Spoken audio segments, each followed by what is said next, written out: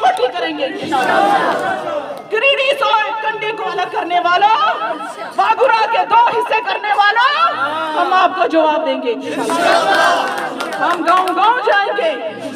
क्या आप मेरी आँखें बनोगे क्या आप मेरी ज़ुबान बनोगे क्या आप मेरी बाजू बनोगे तो हम इनको जवाब देंगे। मिलिटेंट से नुकसान नहीं किया।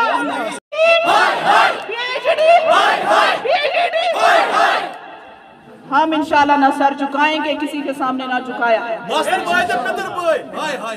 Master boy पितर बॉय। मास्टर बॉय पितर बॉय। सा हमारा पाकिस्तान में बैठा है बेचारा। यासिन मलिक जेल में सड़ रहा है बेचारा उनको मिलिटेंट बनाने वाले हाय हाय कश्मीरी को मिलिटेंट बनाने वाले कश्मीरी के हाथ में बंदूक देने वाले जवाब होगा सबका जवाब होगा।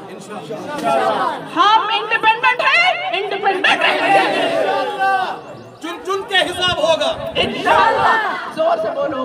ज़ोर से बोलो। ज़ोर से बोलो। बाकी आपके बहन जो काम है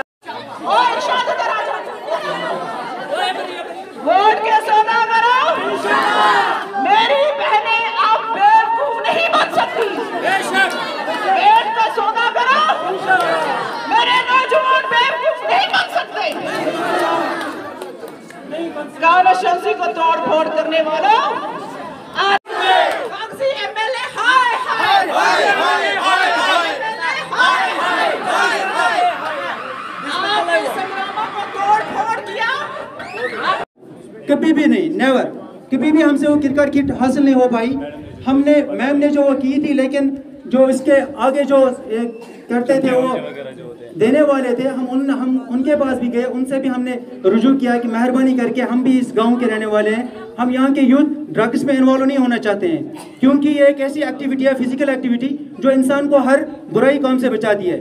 लेकिन बदकस्मती से हमारे गाँव को कभी कभी भी कभी भी ये लिहाजा ये मस्जिद मस्जिद शरीफ गए अस नंबर जो मस्जिद शरीफस वज़ू खान कहें अत लेटरिन कहें अस गरीब गाम ये सारी मजूर गामस मज मुलाजिम सह तिम बिचार कोता करन उस हवाले से, एक मिनट, उस हवाले से भी है। ऑफिसर्स को मैंने इंस्ट्रक्शंस दी कि ऑन फास्ट ट्रैक काम होने चाहिए। मैं रिव्यू ले रही हूँ डिफरेंट डिपार्टमेंट्स का, इंशाल्लाह मंडे से। और उसके बाद, इंशाल्लाह, हम जो है, कोशिश करेंगे कि इस बारी जो जो हमारे काम है डिफरेंट डिफरेंट प्लान्स में या प्रोजेक्ट्स में, पानी का सबसे बड़ा मसला था लास्ट ईयर काम नहीं हुआ। लेकिन I am hopeful this year की पानी के जो हमारे जे जे एम में हैं, जो कि एल जी साहब हैं एल जी एल जी साहब जो हैं, वो इस चीज़ को खुद मॉनिटर करते हैं। एल जी साहब ने पिछले हफ़्ते में तीन चार मीटिंगें जो हैं वो जल जीवन की ली हैं और मुझे लगता है कि हमारा इस साल पानी का जो बहुत ज़्यादा मसला है इस एरिया में वो हल हो जाएगा। मैम आज आपने बहुत ही जज्बाती बयान दिया इंजीनियरशिप की तरह। उस हवाले से क्या कहना चाहोगे? उनको रिलीज़ करने चाहिए उनको क्यों बंद रखा है? अगर ये पूरी तरह चाहते हैं कि फुल फ्लैज यहाँ पे पार्टिसिपेशन हो तो मुझे नहीं लगता है कि आप ऐसा कुछ उनके खिलाफ है कि उनको बंद किया जाए। फुल पार्टिसिपेशन तभी होगी जब पोलिटिकल प्रिजनर्स रिलीज़ होंगे। पर क्या पैगाम देना चाहते हो लोगों को मैं ये देना चाहती हूँ कि आ, हम अपनी पूरी कोशिश करेंगे मुझे जो मैंडेट मिला है मैं कोई एमएलए या मिनिस्टर नहीं थी मुझे डीडीसी का मैंडेट मिला।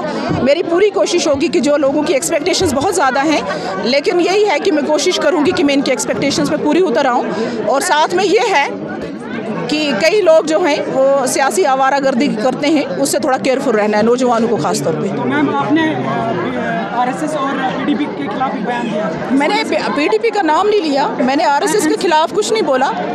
मैंने आरएसएस का बोला कि कुछ लोग हैं जो उनके साथ जुड़े हुए हैं इसमें क्या डकी छुपी बात है? मैं तो लोगों को अपील करती हूँ आपको क्या ज़रूरत है? ए बी सी आप डायरेक्ट क्यों नहीं है? बीजेपी एक पार्टी है वो थोड़ा अनटचेबल है। जैसे यहाँ कांग्रेस एक पार्टी थी कभी कहते थे कांग्रेसियों को गंदी नाली का कीड़ा आज सारे कश्मीरी कांग्रेस के साथ भी चलते हैं। तो डायरेक्ट बीजेपी में जाने में क्या एतराज़ है? डायरेक्ट आरएसएस में जाने में क्या एतराज़ वो भी एक पोलिटिकल पार्टी है जा सकते हैं इसमें क्या है? बस वो समझने वाले समझ गए और क्या? जिनको मैंने कहना था